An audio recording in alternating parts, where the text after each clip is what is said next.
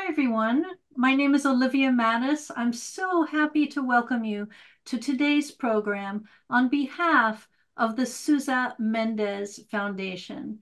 As many of you know, we've been doing these programs on Sundays uh, since uh, early 2020, so four years now.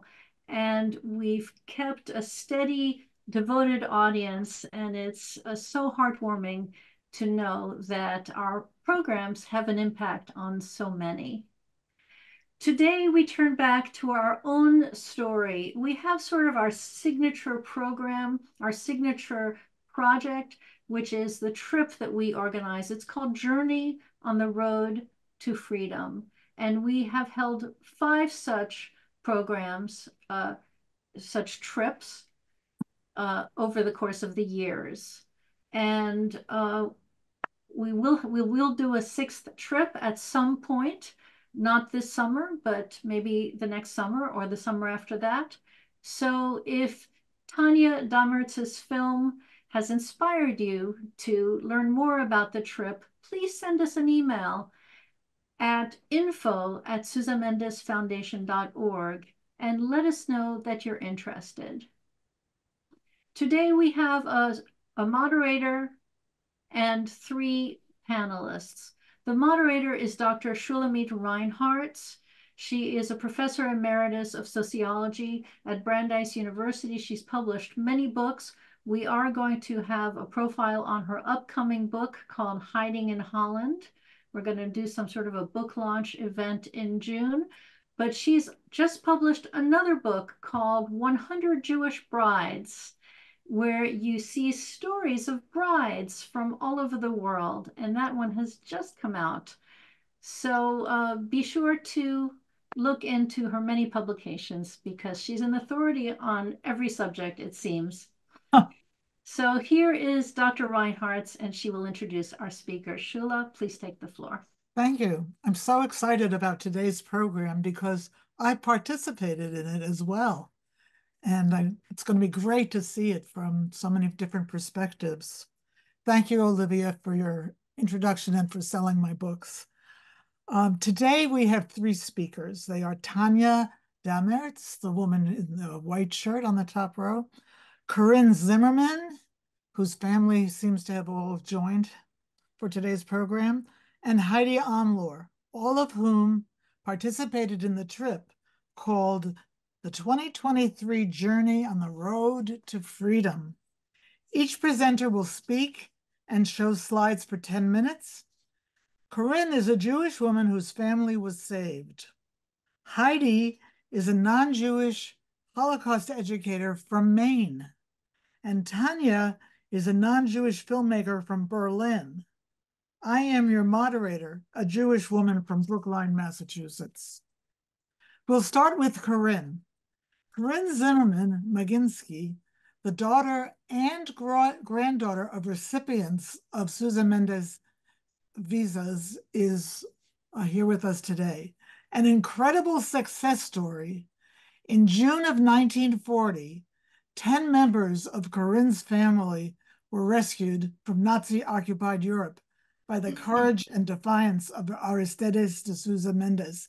It just tells you how much could have been done to save Jews if there had been more people who were consuls like Aristides de Sousa Mendes.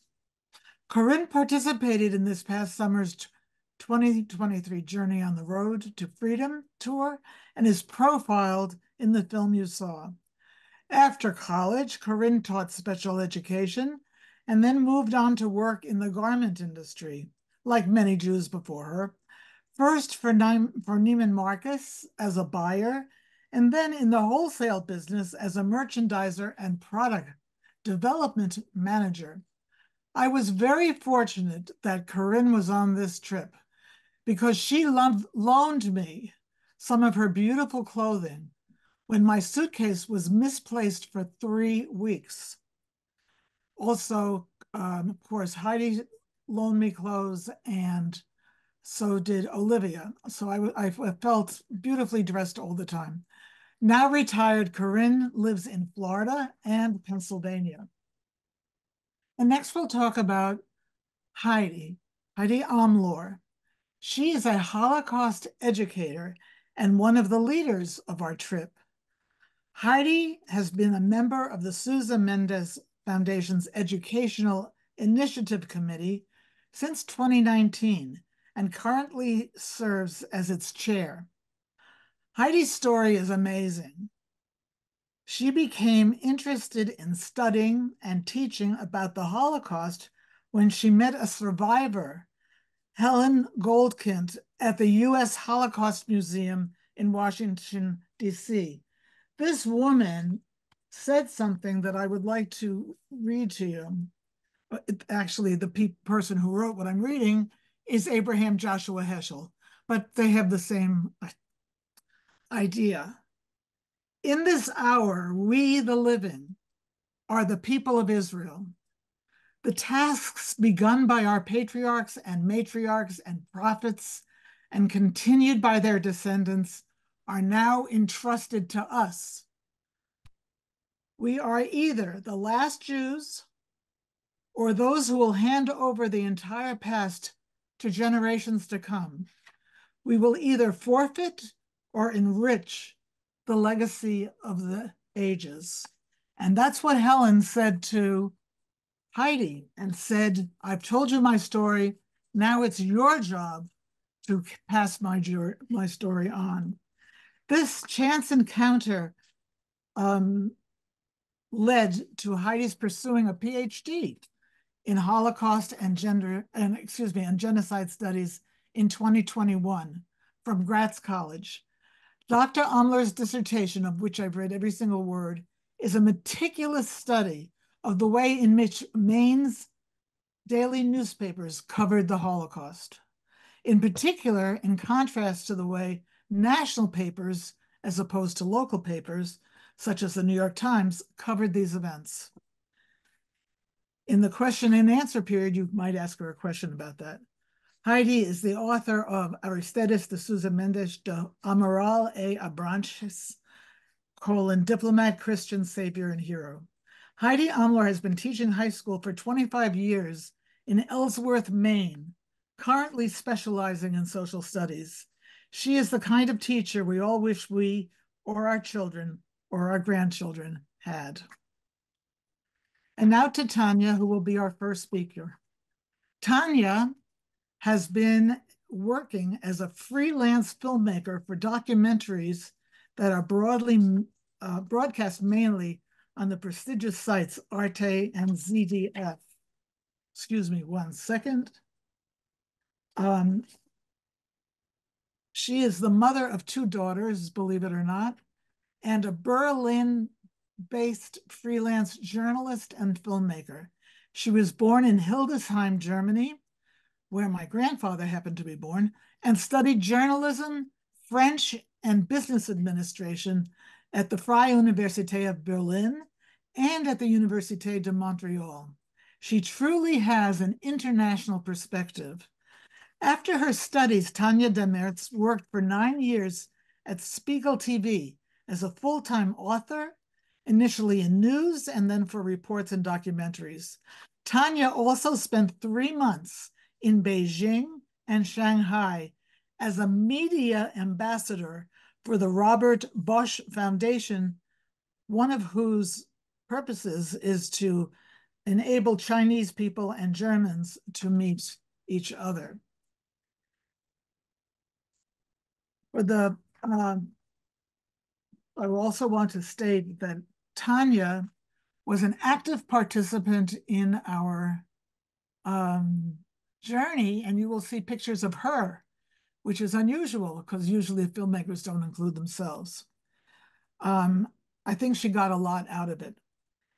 Tanja Dammertz's films have taken her to East Greenland, to India, to Brazil, and to China, and as you will see, to France, Spain, and Portugal.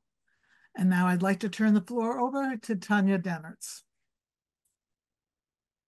Hello, everyone. Thank you very much, Shula, for this nice introduction. Um, I am very grateful and I feel very honored that the Sousa Mendes Foundation invited me to this talk because, as you know, film is not like theater where you get applause in the end or remarks. So I'm looking forward to the questions later on. Uh, yeah, why this film? When my editors uh, called me and asked me whether I would like to do a film about Aristides de Sousa Mendes, and then they told me a little bit about the journey on the road to freedom, I said, yes, that sounds interesting. But then I meekly admitted that I had never heard of this man. And it turned out that it was the same for the whole team.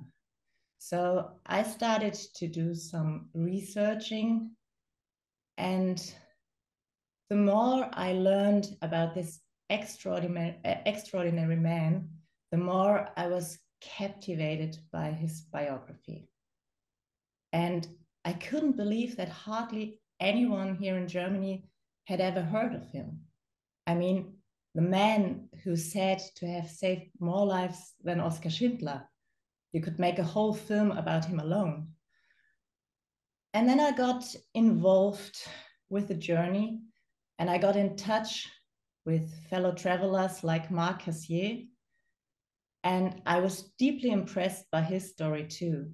I mean, a man who at the age of 73 learns that his name is actually different.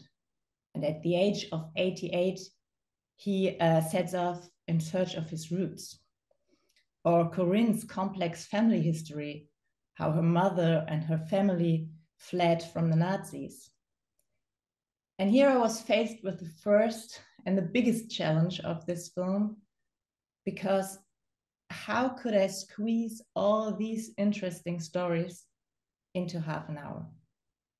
I was bound by this time limit due to the format of the film and it seemed impossible to me to tell all these interesting stories into that short time. And something else was new for me because normally I organize my shooting schedules by myself. But on this trip, it was different because there was a detailed program. Every day was tightly timed. I mean, the people who were there know that every day was tightly timed from 8 a.m. in the morning till 8 p.m. in the evening. And I was tied by this schedule too. Normally, we film different scenes from different angles, small actions are repeated. But on this trip, this was impossible. Um, I was aware that a subject like this requires a lot of calm, a lot of empathy and sensitivity, not only from me as a director, but also from our cameraman Frank and our sound assistant Julio.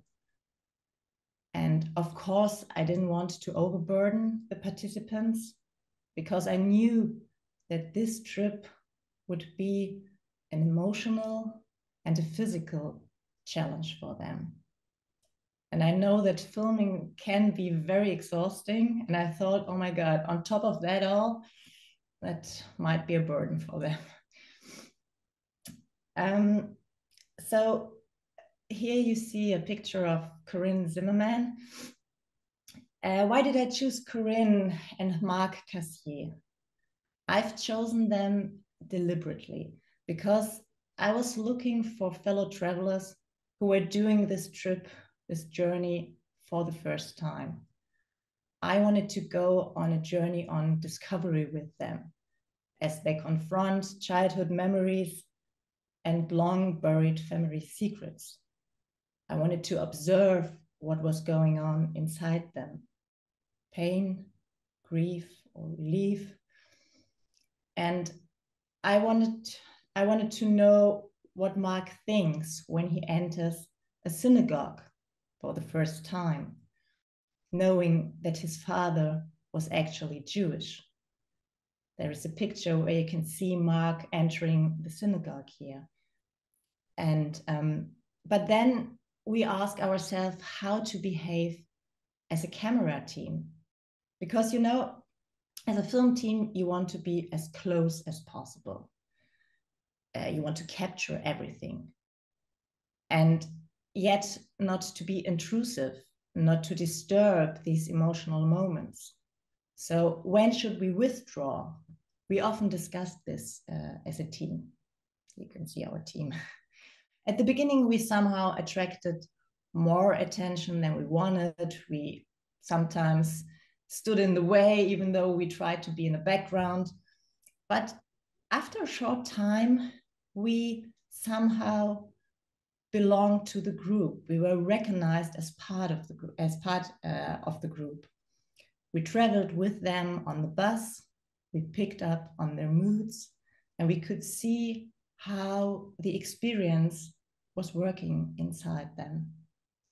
And I would like to take this opportunity to thank all the participants once again for their openness with which they shared their emotions with us.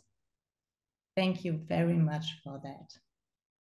The only time we left the tour group was when we uh, were at the old consulate in Bordeaux, you see here, with Jan de Moncada. We had barely an hour to spare because we had to jump on the bus and move on. But it was a magical moment when we were climbing up the steps with him into the old rooms where history was made back then. And like the participants, we discovered station by station. What I had thought of very carefully beforehand was where I wanted to tell Aristides de Sousa Mendes' story. Because, you know, all or the development of every single family depends on his development all the families, all the stories are interwoven. Often a dramaturgy is created in the editing process. But on this trip, in this film, it was clear that it will be Aristides de Sousa Mendes' biography that dictates the dramaturgy. And that worked out very well. Of course, this film can only be an excerpt from the life of Aristides de Sousa Mendes, from the journey and from the experiences the families made. I had to leave a lot of things out and I had to focus. But I have to tell you that hardly any shooting trip, hardly any film has ever moved me as much as this one. I was deeply moved by the pain the families had to deal with. And I remember when I first met Olivia Mattis, she asked me, So, Tanja, how many films have you ever made about the Holocaust? And I had to confess, none. So I learned a lot on this journey too, as a filmmaker and as a person. Thank you very much for that. And I'm happy to see Corinne here. Um, Corinne, it's very nice to meet you. And um, yeah, I have the honor to hand over the floor to you, and it's now your presentation. Thank you very much. Thank you, Tanja. What uh, I'm very moved by your presentation.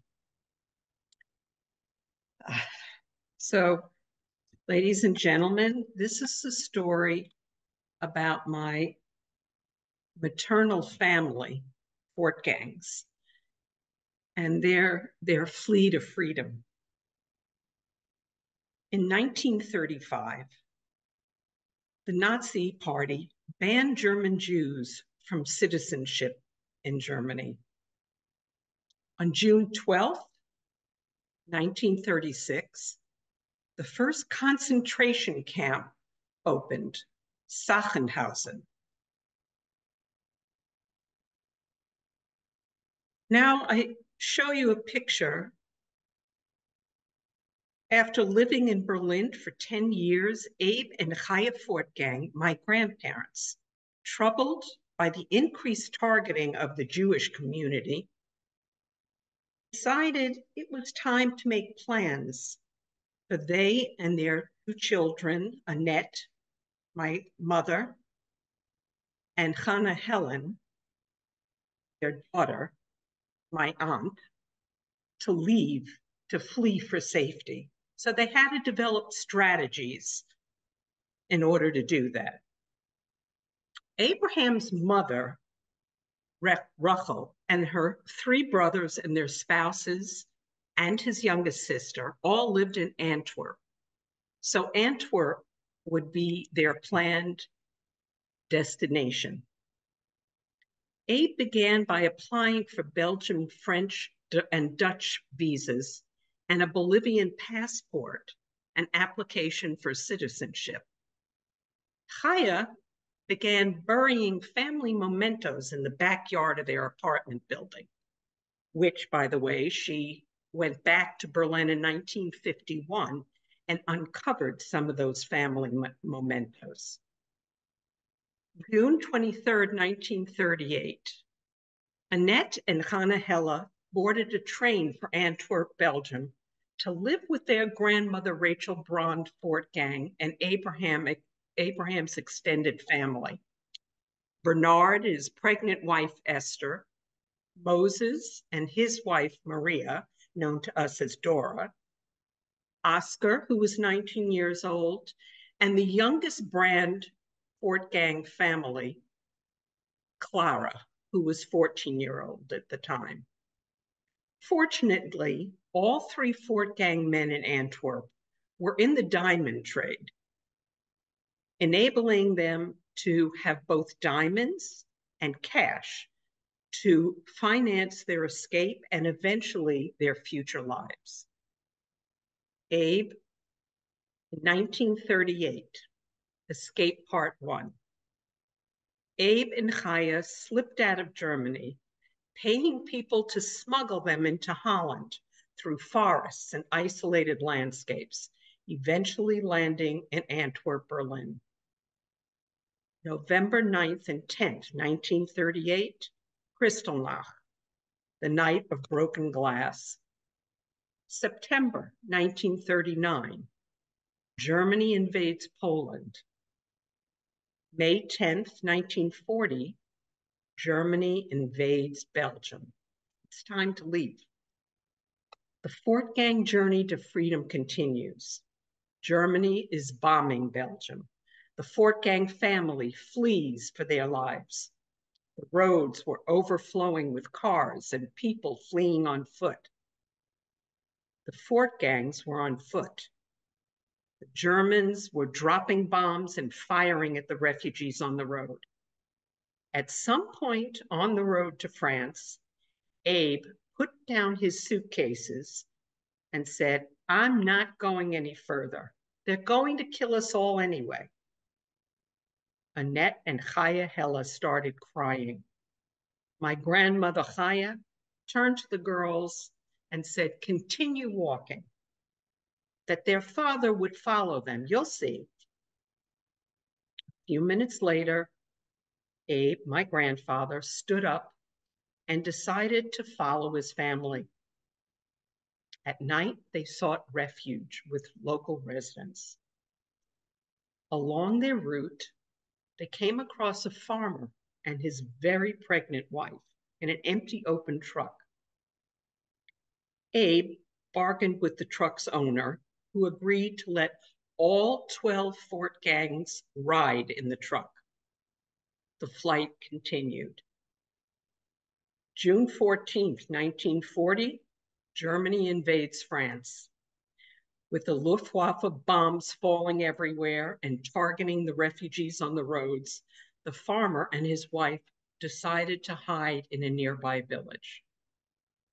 Abe buys the truck from the farmer, and the family continues their flight to southern France, Rouen, hoping that President Roosevelt would intervene on France's behalf. Needless to say, that did not happen.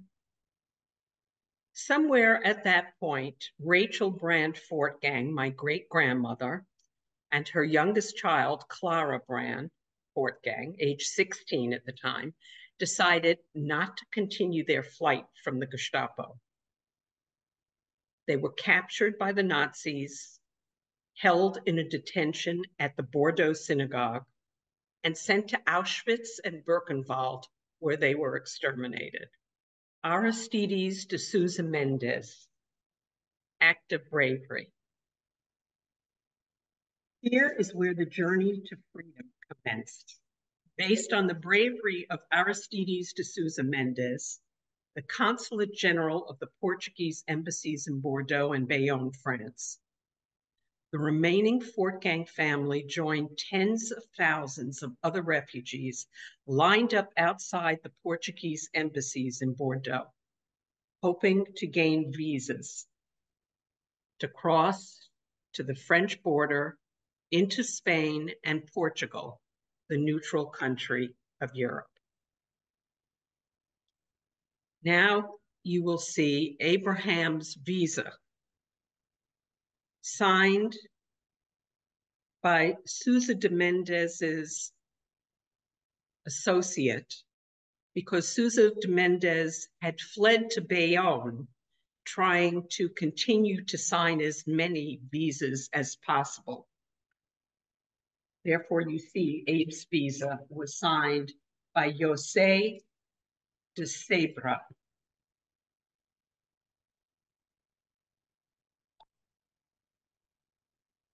The next photo is a document by the Jewish Social Services of Porto of brother Bernard, his wife Esther, and their three-month-old daughter Suzanne, who was born during this journey.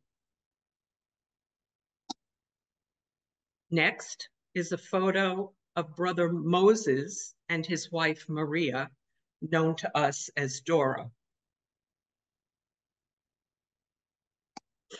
Abe and family had temporary residence in Curia, Portugal.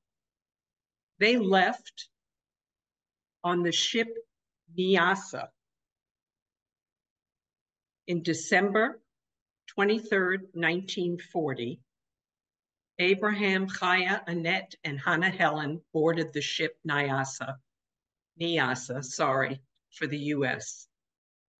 Final photograph of our family is pictured on September 2nd, 2012, in Cape Cod at Mark's family home. Annette Fortgang Zimmerman, who is seated in the center of the photograph, and her extended family celebrated my 60th birthday. It was a wonderful event. And the final photograph is a photograph of the stone, which was given to or donated to the Villa Formosa Museum in honor of the Fortgang family's survivor, which is now engraved in stone at the museum, which was the first stop in Portugal for all refugees who were then free, thanks to the humanitarian acts of Aristides de Sousa Mendes. I can't tell you how much this has impacted our family. And obviously, you've seen uh, that I was unable to keep my tears from flowing during that journey. Knowing that my family, who now uh, the immediate family is 14 members of Annette's survivors, are here because of the bravery of Sousa Mendes. Thank you very much for listening. And I now turn over to Heidi Omlor. Thank you. Thank you so much, Corinne. Um, I'm really honored to be here today. Good afternoon, everyone. So my role with the Sousa Mendes Foundation um, is really focused on education. In 2019, I uh, took the journey on the road to freedom um, as a participant, as a teacher. And before I left, I would have told you that I knew who Sousa Mendes was. I felt fairly comfortable about my knowledge and what I had taught about him. Wasn't on the journey very long when I realized I didn't know anything. So I had the privilege on that first journey in 2019 of traveling with four visa recipient families, one actual visa recipient himself, Andre Diner. Um, and I gained a tremendous amount of knowledge. I had the opportunity to interview each of them. I actually wrote a paper about them. And I realized at the end of that trip um, how much more I needed to add to what I was teaching students um, about um, our hero. So this added to my teaching, added to my knowledge and how I presented this story um, to my students. Upon returning from the journey in 2019, I was contacted by Olivia and Joan Halperin, whose family was also saved by Sousa Mendes. And both those ladies asked me if I would join the Educational Initiatives Committee. I'm not sure how I ended up being the chair of it, but I did in one way or another. So at that point, um, we had planned on taking another trip. Um, and then, as you all know, uh, 2020 came and um, everything stopped. so while we were all at home, uh, we started to contact um, and connect through Zoom. We grew the Educational Initiatives Committee. Many of the Participants from the 2019 trip joined us, and we began to brainstorm about how are we going to get this story into the hands of more teachers. And this really became our focus. So in a few minutes, I'll talk a little bit more about the materials that were created, um, both by the committee and then certainly by individuals on the committee. Um, but our focus became to reach teachers with this story. So it would not be until 2023 that the journey would take place again. Matthew, if you'd like to start showing the photos. So these photos of the journey in 2023 basically highlight uh, each of the stops that the trip um, takes. And so on the 2023 journey, um, not only did I obviously go, but not as a participant, I was asked to be one of the tour leaders. I was given the opportunity to travel with several more visa recipients and their families and really, honestly, part of the beauty of this trip is that it changes a little bit each time, depending on who the visa recipient families are.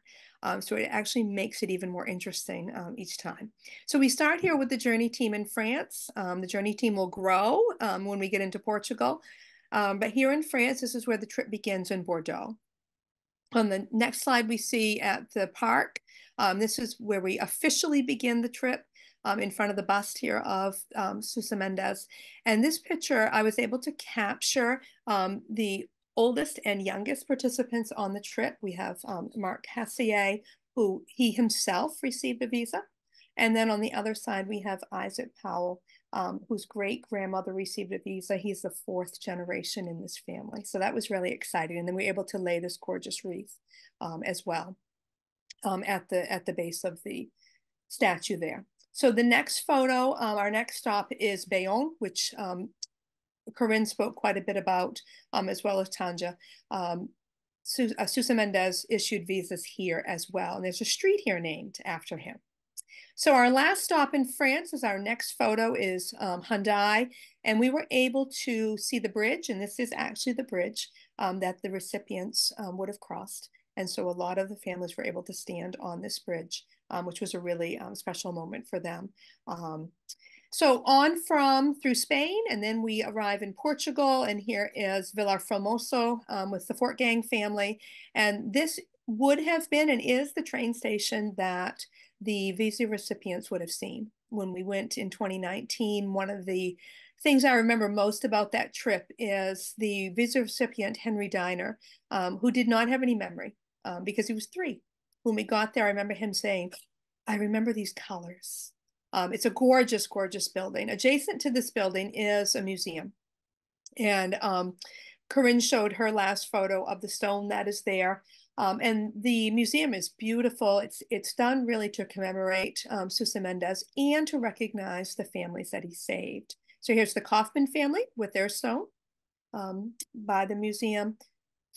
You can see um, there the family there and then um from there there's their stone much like corinne's family and from there we went to the uh, home of Sousa Mendes.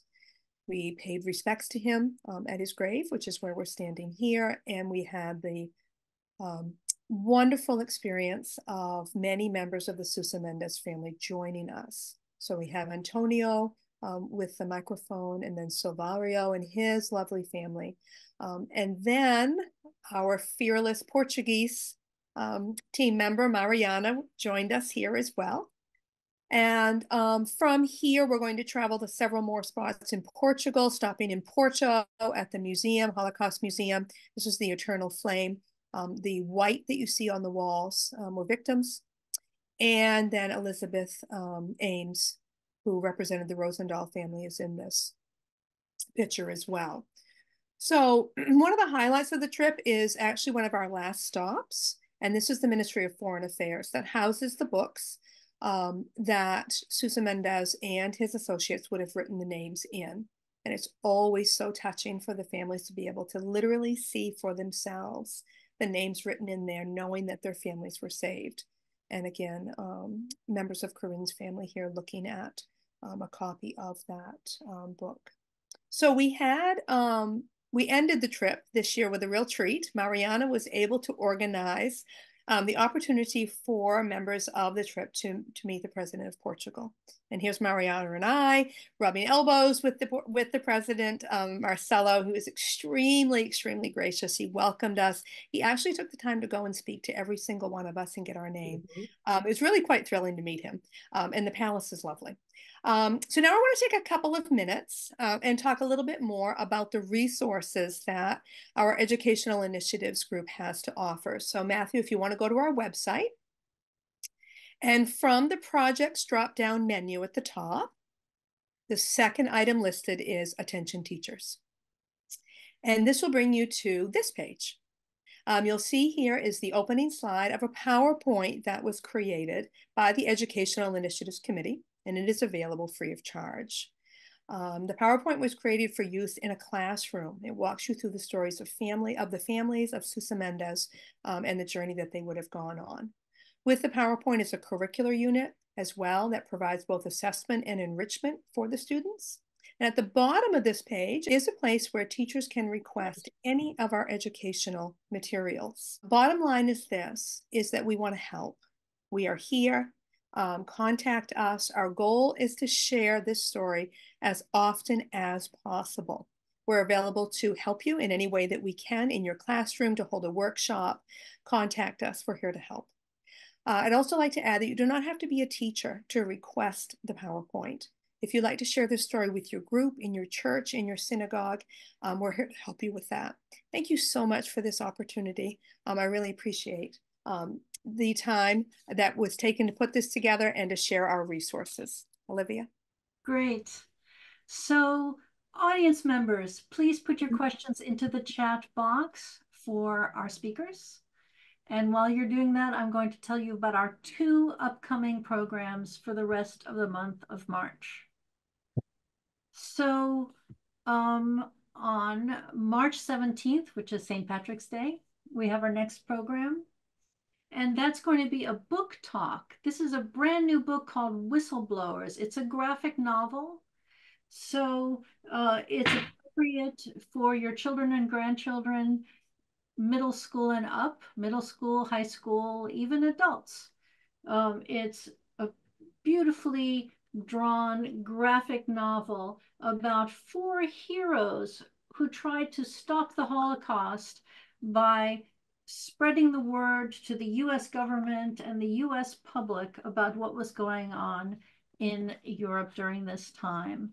So after today's program, you will get a, a, thank you message, and there it will have a link to order a signed and inscribed copy of this wonderful graphic novel. So that's our program of March 17th, Whistleblowers. It is a free program. The following week, we will have Shulamit Reinharz uh, moderating again. And there we're going to focus on a fascinating figure, Rabbi Abraham Joshua Heschel. He was one of the leaders of the US civil rights movement. He was always there in the front lines, right there with Martin Luther King he was a pioneer of interfaith dialogue, was very involved in Vatican II and so much else. So right now we're going to see a little trailer of the new film on Rabbi Abraham Joshua Heschel. To your church. March will not continue. On the front lines of the historic Civil Rights March in Selma, Alabama, standing along with Martin Luther King Jr., is one of the most remarkable religious figures of the 20th century, Rabbi Abraham Joshua Heschel. I think they became friends, but more than friends, they became brothers. He was the authority on the prophets, but on this occasion, he was the prophet. Abraham Heschel is plucked from the fire of the Holocaust that will take the life of his mother and sisters. And in 1940, he arrives in America. And he's already come out of this magnificent dynasty of rabbis that go back for centuries. He's part of a dynastic royalty. He lived in excruciating ways with the reality that as the world and the family he grew up in was destroyed in Europe, most of the world was in fact indifferent. Remember, in a free society, some are guilty, but all are responsible. Over the next three decades, Heschel fights indifference through his vision of a God who seeks to partner with humanity. To be in real connection to God was to be in awe and radical amazement at the universe that God had created. And his love for the prophets of the Hebrew Bible who dare speak truth to power. And Heschel taught that each of us has a choice to make. What side of history do we ultimately want to land on? He was kind of a theological Hemingway. He wrote in short, pithy aphorisms of enormous power. Heschel plays a pivotal role in reshaping the contentious relationship between Catholics and Jews. But I also have to remind them that my being Jewish is so sacred to me that I am ready to die for it. And he risks being in the forefront of the protests against what he believes is an immoral war in Vietnam. My father was attacked for so many of the public positions that he took. My father wouldn't be quiet. No one could silence him. I am an optimist against my better judgment. Somehow, I believe in God. And somehow, I believe and am convinced that He will have mercy and pity more than we deserve.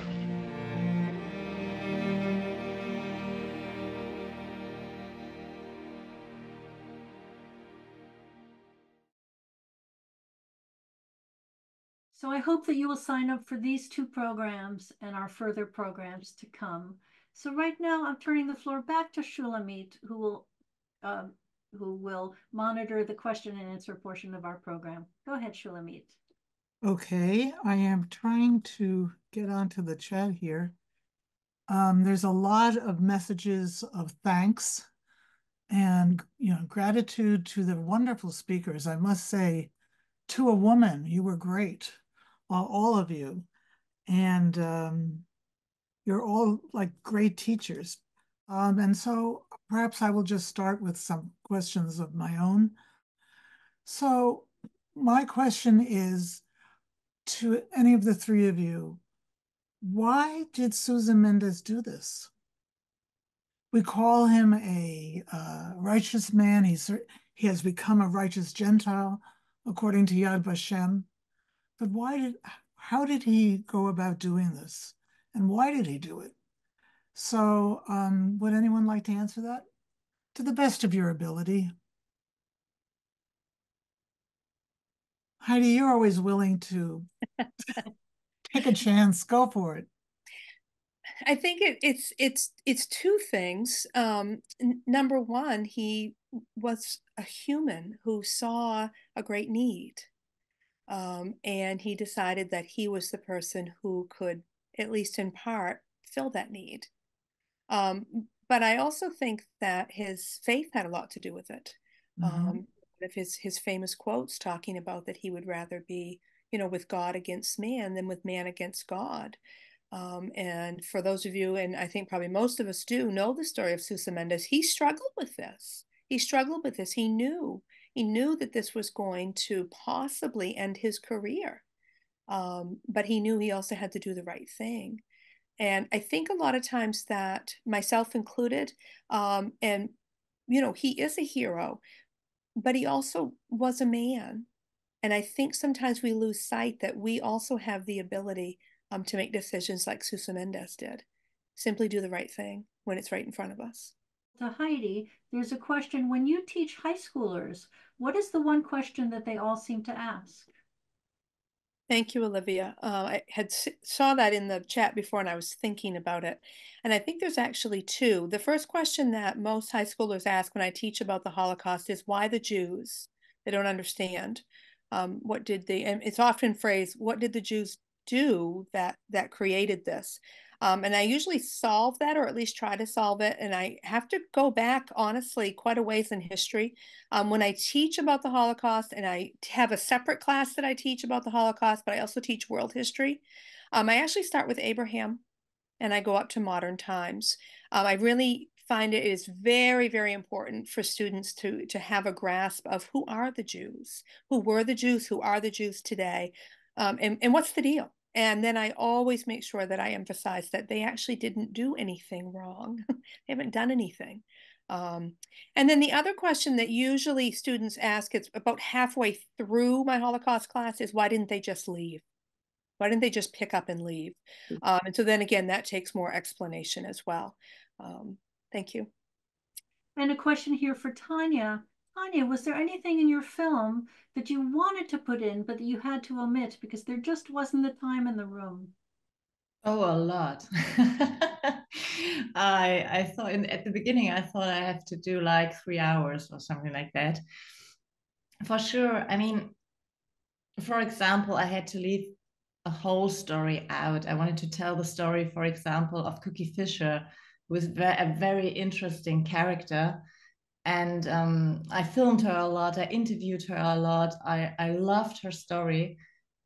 But the only reason that it didn't appear in the film is that we hadn't have enough time. And I, I felt obliged to tell one story as a whole and not to like uh, have one and one and one and you don't understand all these stories. So this, for example, was one thing. And I would have loved to tell more about the um, all the the Sousa Mendes um, relatives and, and and his story too. I mean, I only I, I Sousa Mendes biography is is very shortly told in the film, so this is another example, and I could mention a lot more.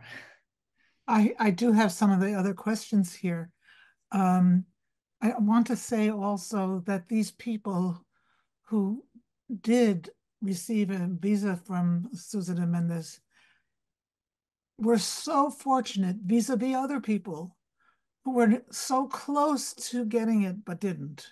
My own grandparents were in a concentration camp in France at the bottom of the Pyrenees Mountains, the mountains that the uh, Sousa Mendes visa recipients were able to cross. But my, those people, my grandparents could not get out of the concentration camp called Gurs. And so they didn't make it. It was so unusual to find uh, consuls who would do this for anybody. Um, there's a person here uh, who asked this question, which comes from the Jewish Fellowship of Hemlock. I don't know what that is, but the Hemlock Society is one in which I think advocates people taking their own lives when they. That's wrong, Corinne. You want to tell yeah, me? Yeah, it's the Jewish Fellowship um, Synagogue of Hemlock Farms in Hawley, Pennsylvania. Well, I couldn't have been further off because I didn't say that. Um, but this person, thank you for correcting me, um, wrote that that person wondered why people fled to Portugal especially since Spain was fascist and Portugal was not neutral. Why did they choose Portugal? Does anyone want to address that? Well, Portugal was neutral. Was neutral. Portugal uh-huh. was neutral. And what did neutral mean? It didn't mean that they weren't fascists there, but it meant that Germany did not invade them.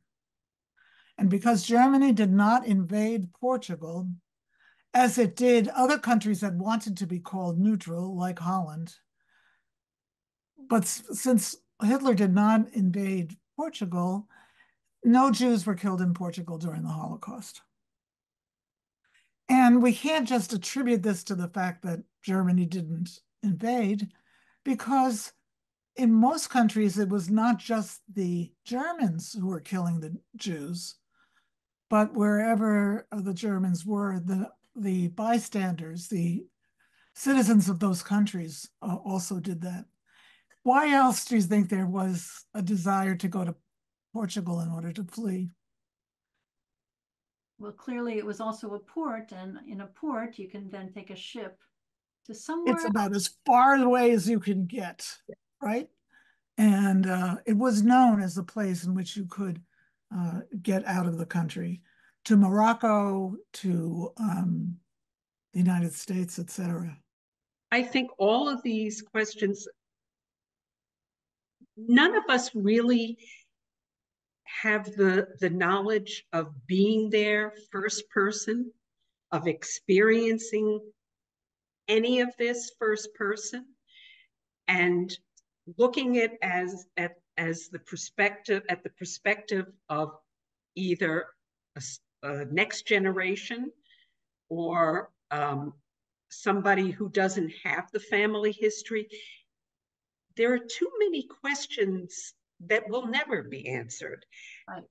And and I, I, wanted to go back to uh, question about why or what what impact um, Sousa de Mendes had, how he got to the point to make up his mind. I think in every generation, and we certainly see it in our current generation, there needs to be a brave person who steps up and makes the right decision of how to save whatever the circumstances are, whether it's the right decision in, in our government, casting aside all their pre um, their their thoughts or their previous um, learnings that they stand up and do the right thing. And there aren't enough people who do that, so that we have to celebrate those who put themselves last and the rest of the world first. He's the exceptional man. And right. there are such people, they're called tzaddikim in every generation. And it is thought that because there are 36 tzaddikim in a generation, the world is saved. I got three candidates right here.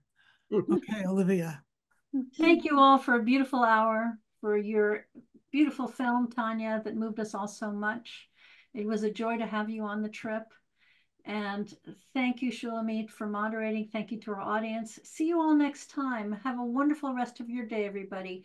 Be well. Take care, everybody. Bye bye. Bye bye.